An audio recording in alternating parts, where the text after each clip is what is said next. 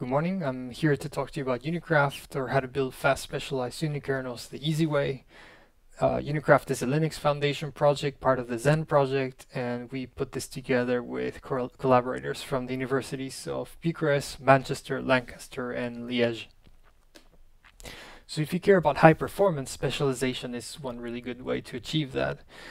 And whether you're doing it in software by building purpose-built VMs that can run runtime environments such as OCaml or JavaScript, or you care about high-performance networking with DPDK, or you're doing in, in, hardware with TPUs that can do ML workloads really fast, specialization is clearly one really good way to get high performance. In the virtualization space, uh, unikernels are the ways to do that. Uh, unikernels are essentially specialized virtual machines.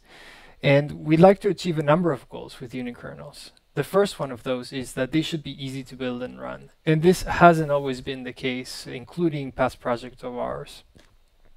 It should be easy or even better, there should be no application porting time. And of course, they should provide great performance. We have a couple of design principles for Unikraft. The first one is that we wanted the, the kernel to be fully modular. This is so that we could provide full software stack optimization. The second one was that we wanted to provide high performance specialized APIs as first class citizens.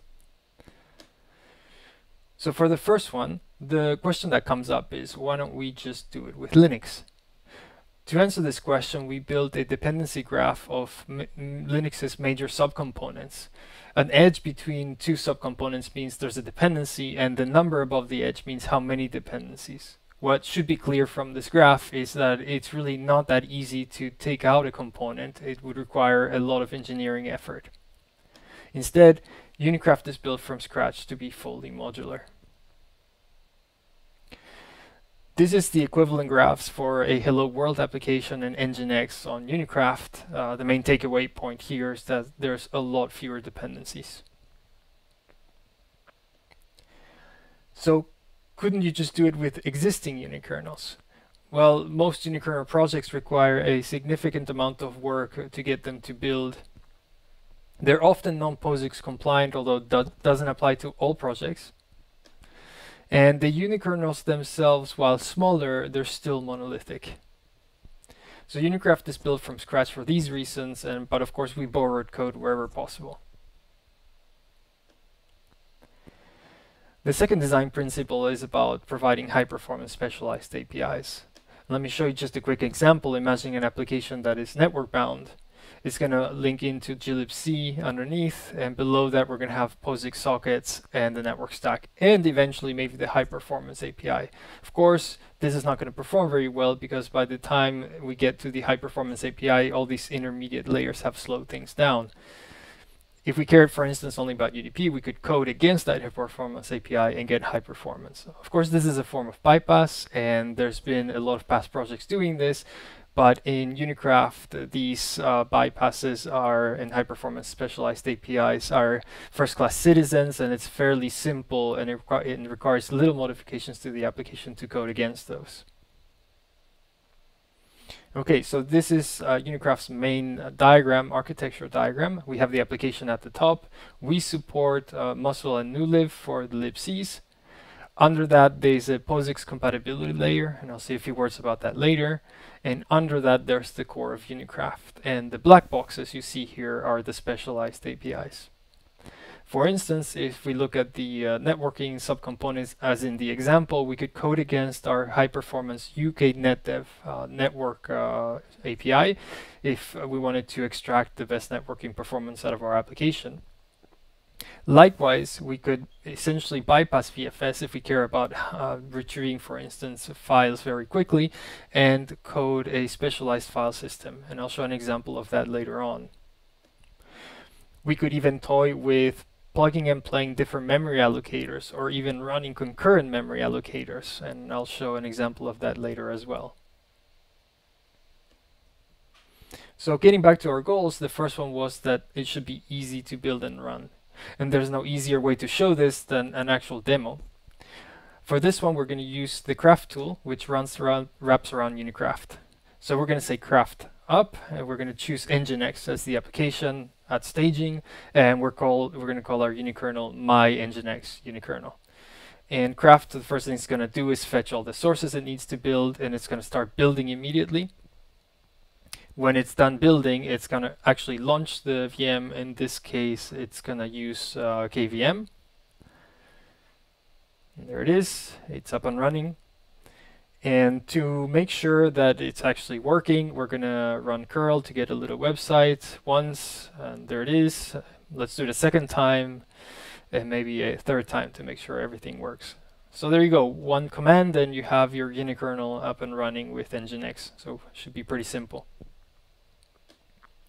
The second goal is that there should be hopefully no application porting. That's the ideal case. Some projects attempted to do this uh, through what's called binary compatibility. You basically take an unmodified ELF and you put it on top of the unikernel, then the unikernel traps uh, syscalls. The basic problem there is that the system call cost is significantly higher than a function call cost. Instead, what we do is auto-porting from source. What we do is we take the application's native build system, for instance, the one from SQLite, and we generate standard object and archive files. We then take those and directly link them into Unikraft's build system. Unikraft has a ported version of Musl. Musl, of course, expects Linux underneath, so it's going to try to do some syscalls. So we have a syscall shim layer to deal with those. And under that, syscall implementations. Under those, of course, instead of Linux, we have Unikraft just to test that this actually works in terms of compilation, we took a number of uh, libraries that we manually ported and we figured out that essentially uh, we can compile all of them through this approach using Musl. What about system call support? So far, we support about 140 syscalls. If you compare that against Linux, which has in the order of 350, you might think, well, we don't support that many in the end. As it turns out, uh, if you look at a paper from Eurosys in 2016, you don't need that many syscalls to support a significant number of applications. In that case, if you look at 145 syscalls, that roughly equates to about 50% applications. Of course, it matters which 145 uh, syscalls. So we did a more detailed analysis. Here, what we did is we took the top 30 Debian Popcon most popular server apps. We're plotting them here in the x-axis. There's things like Apache uh, web server and SQLite. On the y-axis, we have the number of system calls that we support in terms of percentages. And we're going to plot in green how many we actually support. And the takeaway from this graph is that it's mostly green. So this means we already support a number of applications and we're pretty close to supporting uh, an, an increasing number of additional ones. And we're obviously constantly working towards that goal in case this doesn't work, you can always go back to manual porting, which is the way we did things in the beginning of the project especially. So we wanted to measure how expensive it is this uh, to do this uh, in the beginning of the project versus uh, now. So we did a survey of about 30 developers and over time, and we asked them to, to try to estimate how long, how much porting time it took to do uh, manual port. And we split that into how much time it took to do the actual porting of the application or library, or how much time they had to spend on a side project to cope with the fact that there was a missing library dependency, an OS uh, dependency, or the build system needed modifications. I'm not really going to go into the details of this, but the main takeaway is that the trend is significantly going down. Uh, as you can see, as Unikraft matured, it becomes easier and cheaper to actually port something. Just to give you a little taste, Unikraft supports a number of language uh, environments such as uh, Python and Go, applications such as Nginx and SQLite, and frameworks like DPDK and TensorFlow Lite. In terms of great performance, the first thing we will know is whether auto-porting sacrifices performance. To answer this question, we do a little test with SQLite where we compare our manual ports of SQLite versus the auto-ported version. We're going to do uh, 60,000 insertions, so we're going to measure the time it takes to do that. As a baseline, we're going to use Linux, which takes about one second. The next two bars show our manually ported versions on top of New Living Musl, which takes about one second as well. The most important bar though is this one. This is the auto ported one on Musl and it takes just about the same time as Linux. So auto porting doesn't negatively affect performance, which is a good thing. So now let's try to do some performance measurements about the gains you get when you can auto port things to Unikraft.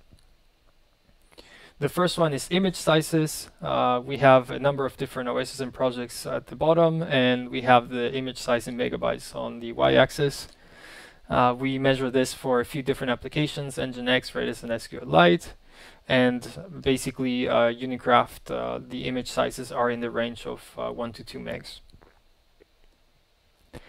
In terms of boot times, uh, we have the here the boot time on the y-axis on the x-axis, we have a few different VMMs, QEMU, QEMU with one NIC, QEMU with MicroVM, which is the faster version of QEMU, and then Solo5 and, and Firecracker. We split the measurement between the time it takes for the VMM to boot and the time that takes the actual guest to boot. And just to show you a few points, uh, QEMU takes about 40 milliseconds. We do take a hit when we have to have a virtual device. MicroVM in QEMU is much faster, about 9 milliseconds, but the fastest are Solo 5 and Firecracker, which clock in, in at about 3 milliseconds. Minimum memory requirements, uh, how much memory do you need to run applications? Uh, we have uh, memory on the y-axis in terms of megabytes, and again a number of operating system and projects on the x-axis. We used once again Nginx, Redis, and SQLite for measure. And you can see Unikraft takes somewhere in the range for, of uh, 5 to 7 megabytes. Uh, Lupine, which is a Linux-based unikernel, takes about 20 megabytes, and Alpine Linux takes about 30 megabytes. Nginx throughput. Uh, on the y-axis, we have throughput in terms of thousands of requests per second, and again, a number of projects and OSs. Just to pick a few points, uh, Linux on KVM is about 100,000 100, requests per second. Linux bare metal, so not in AVM, is about 175. The Lupine unikernel Linux uh, project takes about 189,000 and uh, Unikraft is in the range of about 292,000 requests per second. Redis performance, this time once again million of requests per second for both get and set for a number of different projects and the main takeaway here is that we just about edge out uh, Linux bare metal. What about boot times when you're using different memory allocators? If you cared about really fast boot times, well, it turns out the memory allocator you use for the uh, boot code actually matters. You probably shouldn't use our standard binary buddy allocator, that's kind of slow. But if you're willing to write a, a simple but specialized uh, boot allocator, you can shave the boot time of the guest down to half a millisecond. Allocator also affects the performance of actual applications. So here we use Redis throughput uh, for four different memory allocators uh, for both get and set and the takeaway messages. In this case, you should use mimalloc for this particular application because it does improve the performance of Redis. Finally, let me give you a little taste of uh, specialized APIs. Um, imagine in this case that we're operating in the area of file systems. We want to retrieve uh, static files as quickly as possible. And for that, we're willing to code a specialized uh, file system. That file system we call SHFS and is based on a hash table. We're going to compare Unicraft against Linux, and we're going to measure in terms of cycles how long it takes to retrieve a file that exists and one that doesn't. As a baseline, uh, Linux uh, VFS takes about 4,000 cycles if the file is not there and about 2,000 if it is. If we disable mitigations, because that affects performance, uh, that goes to about 3,000 and 2,000.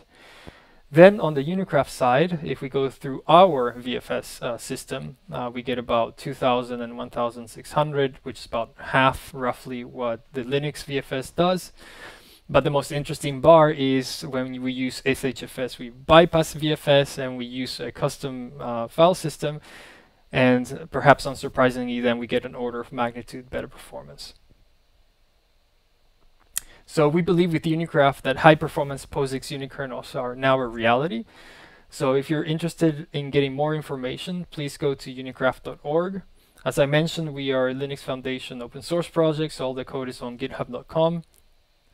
And we have the three Eurosys reproducibility badges and a different repos. So please don't take our word for it, run it, and please let us know what you think. Thank you very much.